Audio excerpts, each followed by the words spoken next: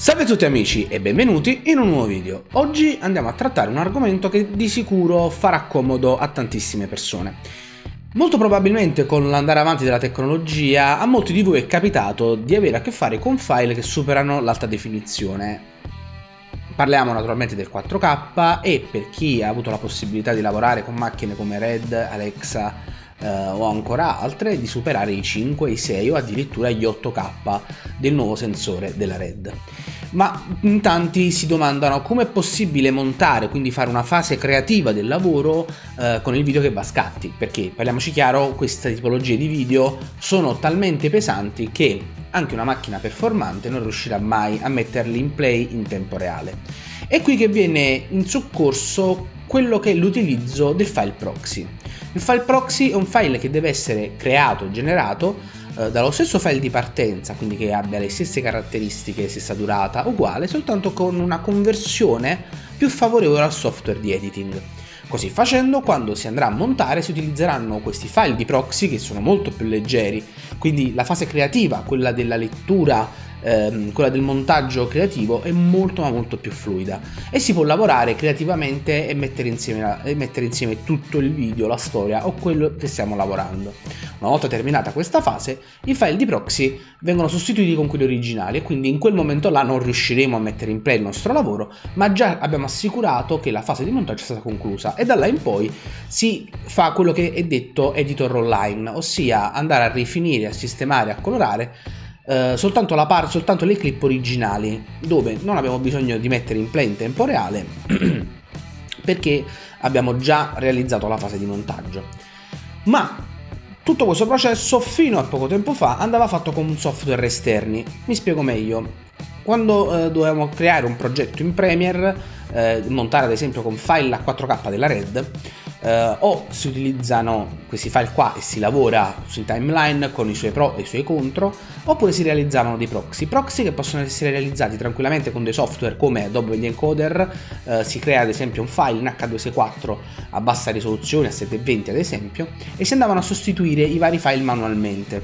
Oppure i proxy potevano essere generati tranquillamente con, con DaVinci, ma insomma bastava convertire i file, eh, tutte, le, tutte, le, clip in file dove, eh, dove il peso consentisse, la codifica e il peso consentissero di essere messi in play in tempo reale. Da un paio di versioni a questa parte, anzi se non sbaglio dall'ultima versione in questa parte, Premiere mette a disposizione questa funzione di realizzazione dei proxy, che in italiano è tradotta in assimilazione, forse non è Mm, la traduzione più adeguata, ma il concetto è quello, ehm, per realizzare i proxy direttamente all'interno di Premiere, gestirli in automatico all'interno di Premiere in una maniera davvero muah, fantastica.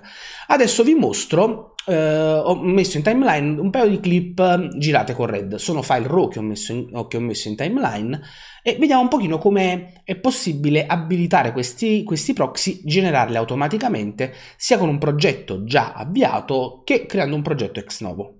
Questo, queste sono le due clip che ho messo insieme.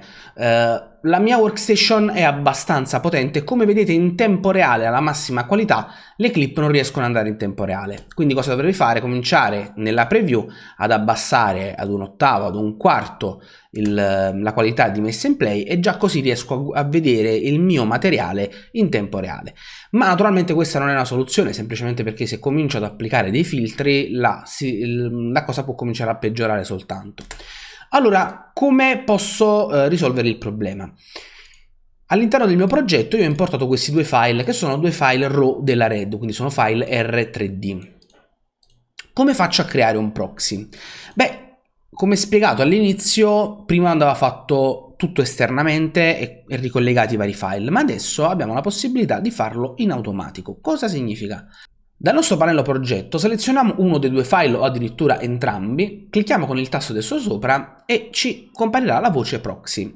In questo...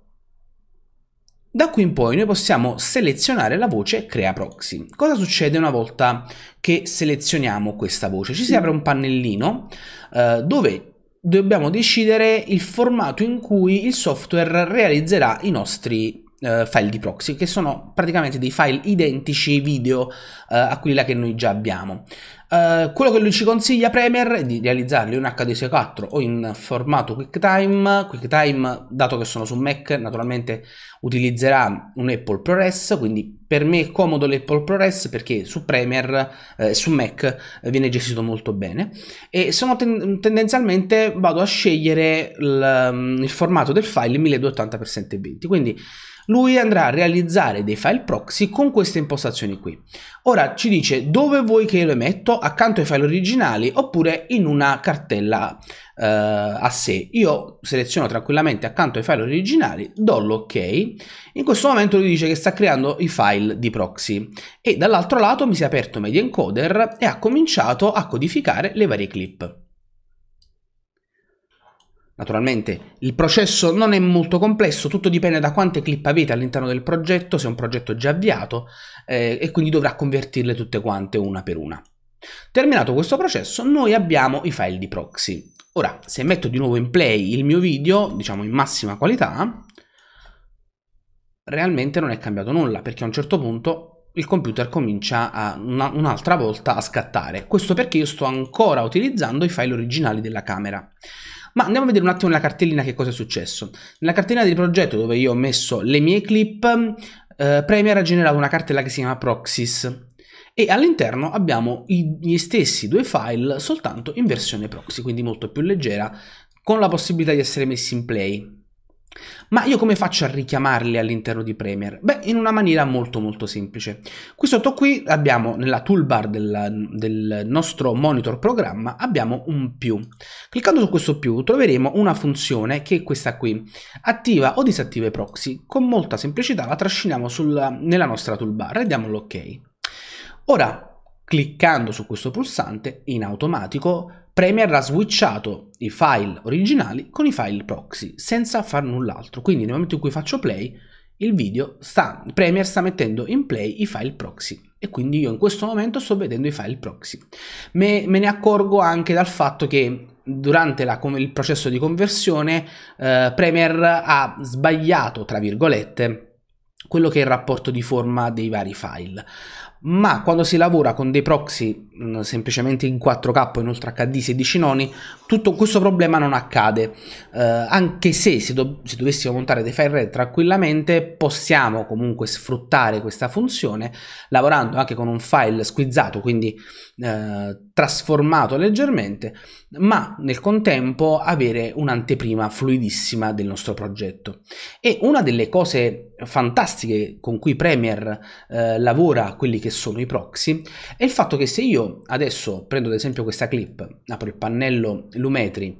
E creo, vado a colorare la clip, quindi aggiungo contrasto, aumento le luci, basso le luci, aumento le ombre, aumento basso i neri, aumento la saturazione, insomma ho fatto un color grading. E questo color, e questo color grading viene applicato naturalmente alla mia clip di proxy. Se io vado a disattivare questo pulsantino, Premiere porterà gli stessi effetti, quindi le stesse operazioni direttamente sul file originale. Quindi in questo momento io adesso che ho disattivato questa funzione sto guardando quelli che sono i file originali con le correzioni applicate ai proxy.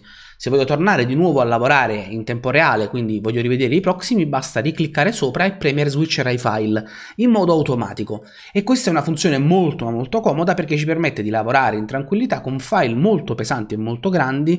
Mi vengono in mente ad esempio i file in 4K della 7S2 o i file in 4K della 5D Mark, Mark 4, ancora quelli della GH5 a 10 bit.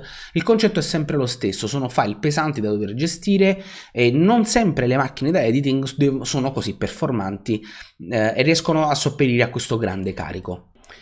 Quindi così facendo abbiamo visto come realizzare dei proxy partendo da un progetto dove noi già avevamo importato delle clip e avevamo montato. Ma si può fare la stessa cosa aprendo un nuovo progetto e dicendo a Premiere che tutto quello che importa ne deve creare un proxy. Io adesso creo un nuovo progetto, lo chiamo proxy 2 e nella stessa finestra per la creazione del nuovo progetto abbiamo quest'altra voce, impostazione di assimilazione, quello che vi dicevo precedentemente. Dando la spunta alla voce assimila, lui vi darà delle opzioni, in questo caso voglio creare un proxy ogni volta che inserisco un file all'interno del mio progetto, uh, seleziono di nuovo la mia voce in 1280x720 in ProRes e mi dice dove vuoi che io metta, metta, le clip. Qui abbiamo qualche opzione in più, possiamo scegliere come progetto, quindi le metterà accanto ai file originali, usa una destinazione predefinita, possiamo caricare i file direttamente sul cloud così da poterli gestire e poter montare anche quando non siamo in ufficio, oppure scegliere un percorso personalizzato per i vari file.